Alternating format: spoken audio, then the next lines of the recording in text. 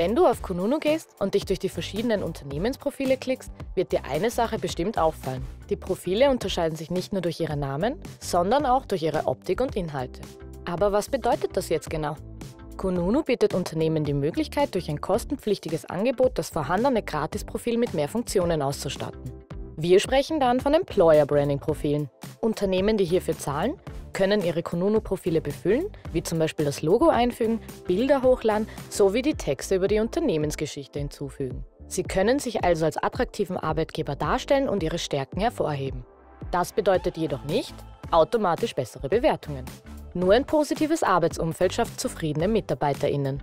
Was ich dir noch mitgeben möchte, auch wenn wir mit den Employer Branding Profilen unser Geld verdienen, nimmt das zu keinem Zeitpunkt Einfluss auf die abgegebenen Bewertungen. Die Kununu-Richtlinien und auch die Prozesse in der Qualitätssicherung gelten für alle NutzerInnen unserer Plattform gleichermaßen.